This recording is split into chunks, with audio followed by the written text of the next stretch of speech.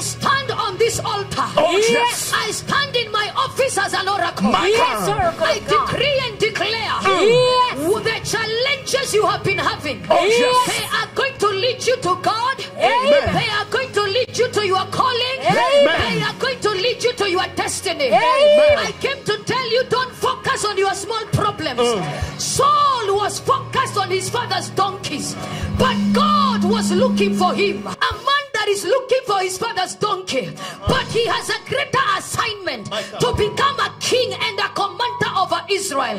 I am here to announce in the name of Jesus Hey. there is a journey of greatness that God is calling you for. Oh, yes. I want you to see beyond your current struggles, see beyond your current problems, Yes, see beyond your current limitation, see beyond your barriers. Yes. Because in the inside of you, I want you to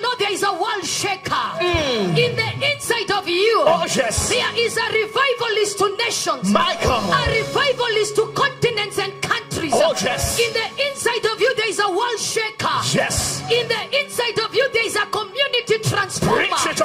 In the inside of you,